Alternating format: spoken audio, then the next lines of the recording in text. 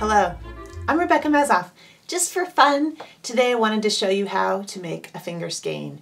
It's a little tiny bit of yarn that's made into a little twisted skein, the purpose of which is to look at how different colors of yarn blend when you twist them together.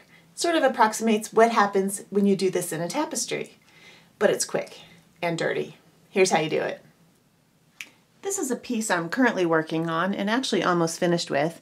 And uh, you can see here that I've used finger skeins to mark what the colors are that I'm using for a particular part of the piece which is coming up next.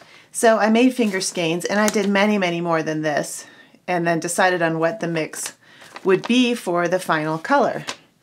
Um, a finger skein is just a tiny little twist of yarn, something like this, that helps blend those colors together if you're using singles. For example, say I want to see what these three colors look like when blended together. I can take a little piece of each one.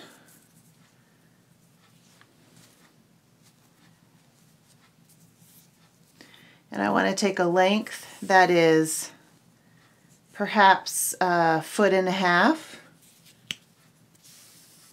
Take your piece of yarn, put the two cut ends together, put a finger through that loop, and just twist. Make sure you're holding on to the free end. Put a good amount of twist in there, probably more than you think you need. Bring the cut end to that loop. You can even stick the loop, the ends through that loop a little bit, and then you're just going to let go.